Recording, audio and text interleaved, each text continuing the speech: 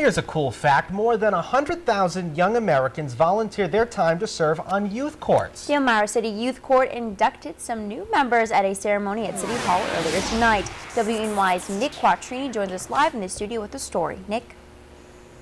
Ben and Jen, the courtroom was packed with very proud friends and family for the special induction ceremony.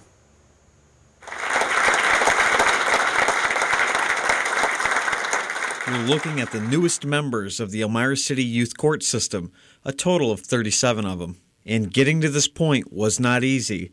The students had to complete a challenging bar examination and pass a competitive interview process.